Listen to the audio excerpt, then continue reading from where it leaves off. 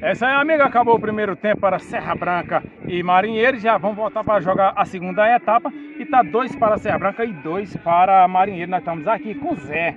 O que foi que aconteceu, Zé? Que a equipe de vocês saiu melhor na frente e tomou esses golzinhos de bobeira?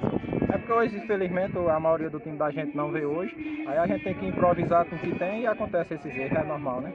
Zé, vocês vão voltar é, é, para campo com a mesma equipe ou teve algum para assim dar aquele reforço para sair daqui com a vitória em cima do Serra Branca?